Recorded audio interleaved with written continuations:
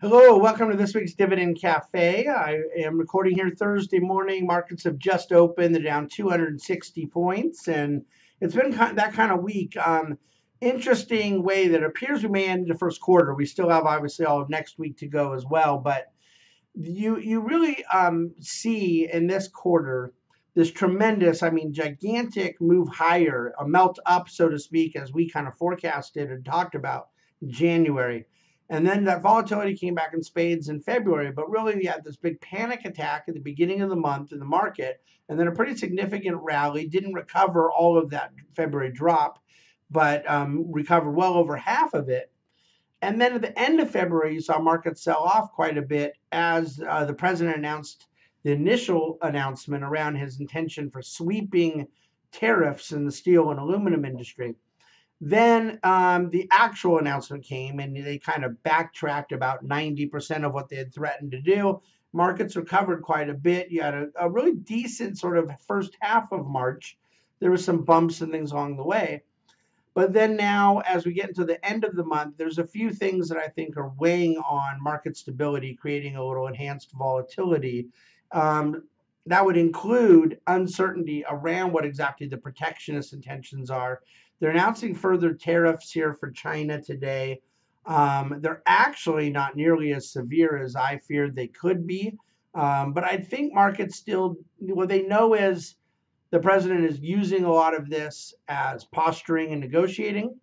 They know um, that the president appointed free trade or Larry Kudlow to his National Economic Council, not another Pete Navarro, Wilbur Ross type that, in fact, perhaps would have represented yet another anti trade, anti global economic activity voice in his economic ear. Um, and yet, on the other hand, it's very difficult to discern how our um, trading partners may respond to different things and what uh, the president's serious about versus not serious about. So that creates an enhanced level of volatility. But certainly, there's very little to pin the last 24 hours of market activity. We were up most of yesterday, sold off near the end of the day. Um, but I do think it's important, as opposed to just focusing singularly on this policy issue, that there is an overall backdrop that that really enhances uh, and supports the higher volatility thesis. Um, I don't believe it's anywhere near the top of the list, but there's certainly ongoing kind of question about the Mueller investigation, excuse me, the Mueller investigation, uh, Russia and, and, and those things are out there where it could go, where it could not go. So that, that creates at least some degree of uh, uncertainty. Markets have mostly shrugged it off, um, but it doesn't help in terms of creating an environment of stability.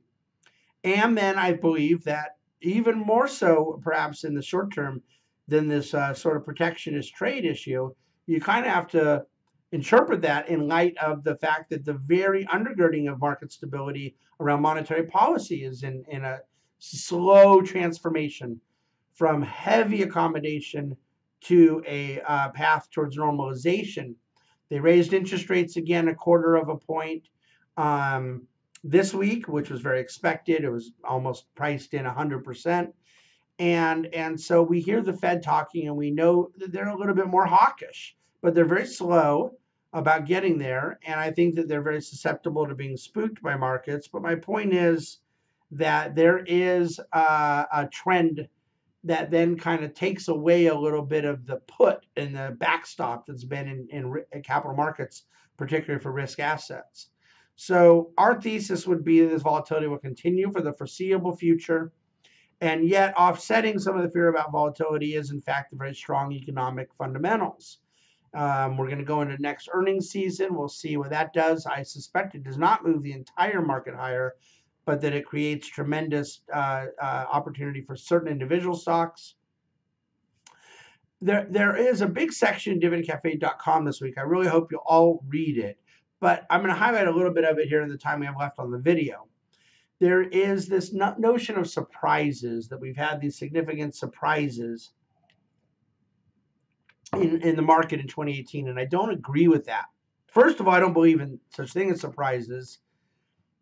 Um, the only surprise in, in, in my experience, uh, 20 years professionally investing capital, is if there isn't a surprise.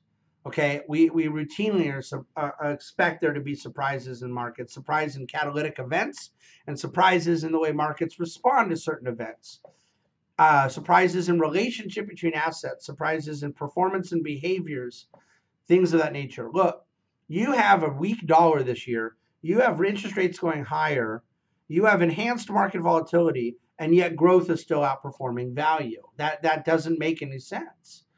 Um, you have oil prices, as we talk right now, sitting around $65 a barrel, uh, up on the year uh, 7%, um, up 35% for the last 12 months. Yet you have the energy sector as the least performer, worst performer. And doing so, by the way, in an environment where the uh, Trump administration is highly supportive on a regulatory basis of the sector. So you have to ask yourself: Is there something that we don't understand, uh, or uh, are the markets permanently now going to price growth better than value forever and ever, or in fact, is there a, vol- a value that is building up that becomes very viable? Um, most certainly, we would lean towards that direction. Uh, so there are opportunities, there are mispricings, there are inefficiencies, and yet we think that that will all exist within a backdrop of volatility for some time around the um, paradigm shift taking place in monetary policy, a paradigm shift that could have been a lot simpler and a lot smoother years ago, but I digress. Policy, uh, uh, excuse me, market volatility in a paradigm of some political uncertainty, and and then uh, particularly when you drill down to the policy front of trade and and global relationships with economic partners. So that's our scoop right now. Um, there are a couple charts at dividendcafe.com I'd like you to check out. The major theme I wanted to give you to watch the video centers around the surprises in the markets, what the response ought to be to it, and what the environment is that's creating the enhanced volatility. It's not really been a bad market as we sit here. The S&P is up a tiny bit on the year. The Dow's down a tiny bit on the year. So you basically kind of a flattish market.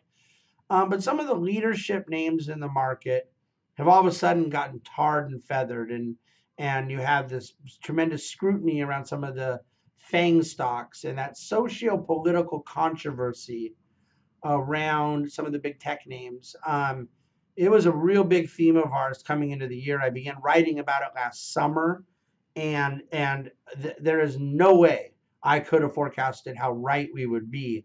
This theme is taking over, and so that adds another strain to where a lot of the uh, market has been. However, there hasn't been a big rotation yet. I would have thought people would leave a lot of the big neck, new tech, cool tech names flow more into value. We haven't seen those flows yet. Maybe we will.